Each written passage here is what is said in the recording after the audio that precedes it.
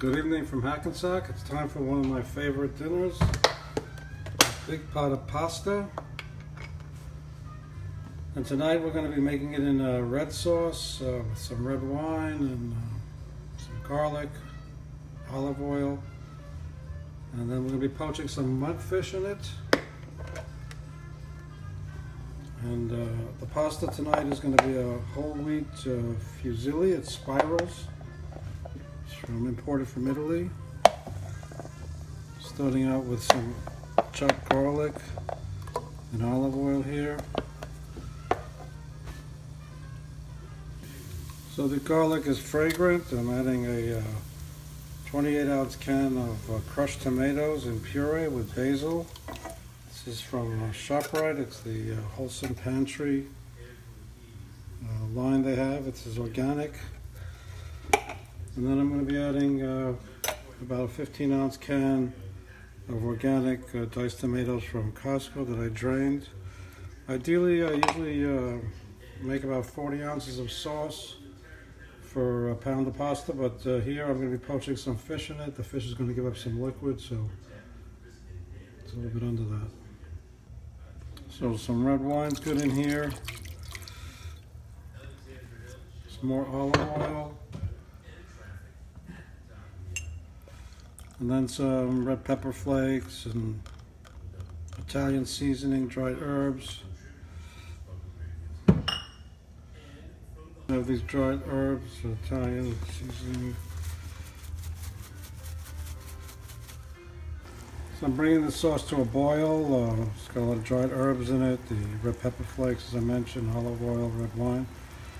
And uh, the monkfish, I sliced it into uh, pieces. This is basically you're buying the tail. The monkfish is one of the ugliest uh, fish in the sea. It has a wide, grinning mouth, uh, head, very big, wide head, and uh, and then basically you're buying the tail of the fish. So um, the pasta water is coming to the boil in the uh, speckle pan in the back there. And uh, be poaching the fish. Uh, they both should take about uh, 12 minutes. The fish has about a half of a small lemon squeezed over it. And the pasta is going in right now.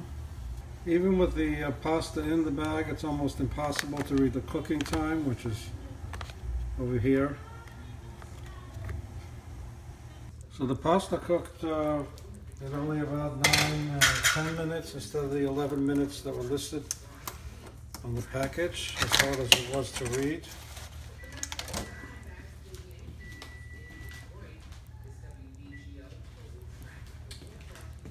The timer just went off, that was 10 minutes.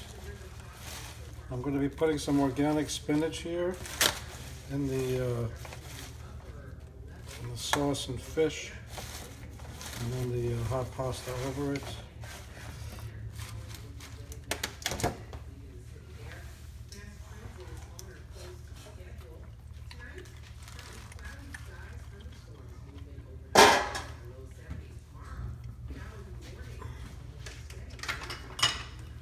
We're going to combine this and uh, show you the finished dish. There's the uh, pasta, organic spinach, monkfish, and I added a lot of uh, grated Parmesan. I'll probably add a little bit more.